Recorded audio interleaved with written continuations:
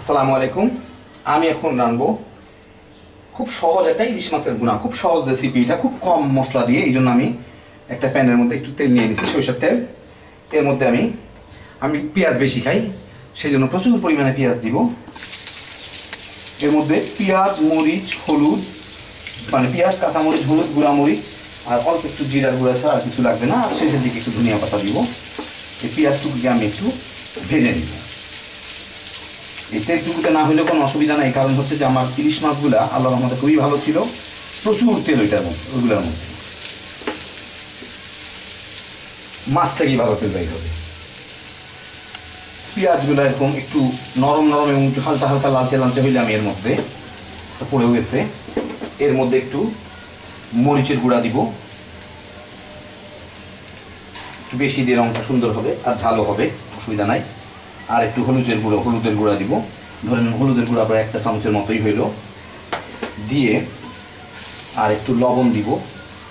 দিয়ে এইটাকে হালকা করে একটু ভাজবো যাতে হলুদের গন্ধটা চলে যায়। এই এক দেড় মিনিট, এক মিনিট খানে কি তারও কম ভাজলেই হলুদের গন্ধটা চলে যায় ইউজুয়ালি কাঁচা গন্ধটা। রংটা সুন্দর হয়েছে না? হ্যাভি জোশ। হলুদের গন্ধটা চলে গেছে। এর মধ্যে এখন আমি অল্প একটু পানি দিব খুব বেশি না, অল্প। যাতে আমি এটাকে একটু ভুলতে পারি।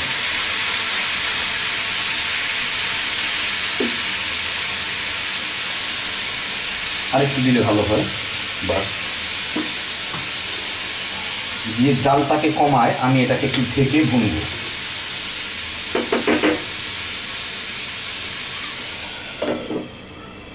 জালটা কি কমাই দিলাম? মিডিয়ামের থেকে মিডিয়াম কি? তার থেকে একটু নিচে। মিনিট, দুই দিনে ভুনবো একটু। মিনিট তিন চারেক পরেই বুঝেই যাচ্ছে, এখান থেকে আমি দেখতে পাচ্ছি যে মোটামুটিভাবে তেলগুলো কিছুটা ছেড়ে দিচ্ছে এখন আমি এইটার মধ্যে নেড়ে দিই। উপর নিচ করলে ভালো হবে। এই চার পিস ইলিশ মাছ দিব। ইলিশ মাছগুলো এরকম দেখা যাচ্ছে এটাকে হলুদ লবণ মেখে রাখছিলাম আমি ইয়েতে, এই ফ্রিজের মধ্যে। কারণ শুনছি হলুদ লবণ মেখে রাখলে নাকি ইলিশ মাছ বলে ভালো থাকে।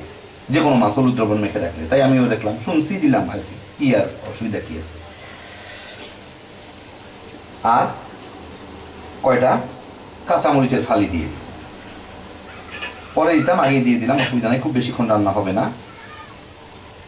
দিয়ে এটাকে ঢেকে একটা সাইড একটু ভুনা ভুনা করব, তারপর আবার উল্টায় দিব। এই মশলা এই সাইডটা একটু ভুনা ভুনা হোক।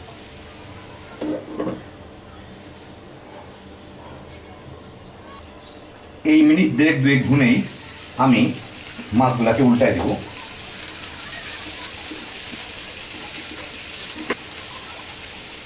আবার মিনিট দেড়েক, দুয়েক এই পাশটাকে একটু ভুনে নেব। যে পাশটা উল্টে দিলে আমার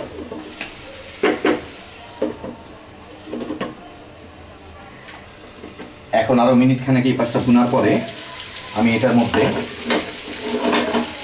একটু পানি দিব যাতে মাছগুলা অর্ধেক পর্যন্ত পানির নিচে যায়, পুরাটা না।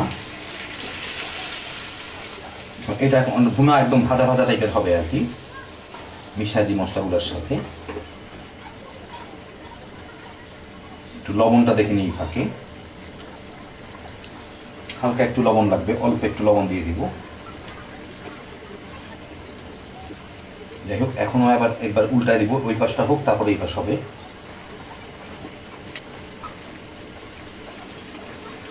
এই মিনিট দুই তিনেকের মতো এটা ভুনা করব, যাতে মানে পানিটা একটু শুকাবে প্লাস মাছটাও সিদ্ধ হয়ে যাবে। চার পাঁচ মিনিটের মধ্যে ঝোলগুলা মোটামুটি শুকায় গেলে, শুকায় গেছে ঝোলগুলা। দেখি, একটু ঝাঁকি দিয়ে তোলা লাগে নাকি না আমি এখন ফাইনালের মতো ইলিশ মাছগুলোকে উল্টায় দিব। শেষবার, যাই হোক ভাঙে নাই, আলহামদুলিল্লাহ।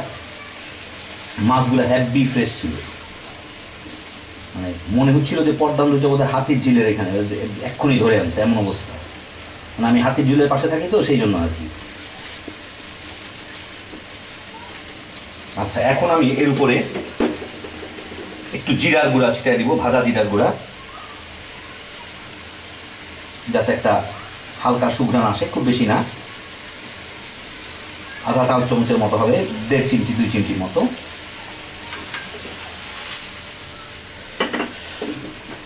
দিয়ে এটাকে ফাইনালি একবারের জন্য ঢেকে দিব, মাছগুলোকে কাছাকাছি নিয়ে আসি, কারণ এরপর তো আর নাড়ানাড়ি করা যাবে না সৌন্দর্য যা দেখার তখনই দেখতে হবে আর কি।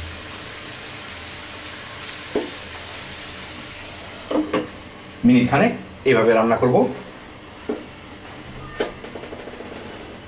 মিনিট খানেক পরেই মোটামুটি একদম পুরা তেল ছেড়ে দিচ্ছে হেভি জোশ। লাগতেছে কালারটা হেভি সুন্দর দিচ্ছে, আমার কাছে লাগতেছে আর কি। এর উপর কয়টা? ধনিয়া পাতা ছুটে ছিটাই দিব।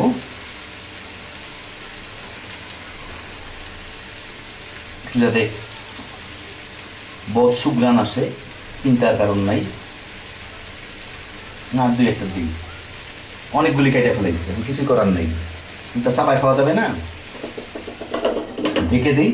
জালটাকেও বন্ধ করে দিই যেটুকু গরম আছে, ধনিয়া পাতা গন্ধ ছড়ায় যাবে এর মধ্যেই। দু চার মিনিট পরে খুলে দেখব কি অবস্থা। যে অবস্থাই হোক, আমার কোনো উপায় নাই, খাইতেই হবে। তিন চার মিনিট পর সহ্য হচ্ছে না, আর আমি একটু খেয়ে দেখছিলাম ঝোলটা হেভি জোশ। এখন মনে হচ্ছে এক্ষুনি খাওয়া শুরু করি, তাই চার পাঁচ মিনিট অপেক্ষা করার সম্ভব না আমার পক্ষে। এখনই ঝাঁপাই পরে খাইতে হবে, আপনাদের যা দেখানোর দেখাই দিই। এই হয়ে গেল আমার সহজ ইলিশ মাছ ভুনা। হ্যাভি জোশ লাগতেছে আমার কাছে খাইতে। মানে দেখে একটু খেয়ে দেখলাম ঝোলটা এতে- এতেই। দেখেন এই হয়ে গেল। খুব সহজ, খুব অল্প মশলা দিয়ে। তো দেখলেন কেমন করে করে ফেললাম। এখন তামা তামা করে খেয়ে ফেলামু। আল্লাহ আপনাদের সবাইকে ভালো রাখুন। ইনশাল্লাহ আবার দেখা হবে। আল্লাহ হাফিজ।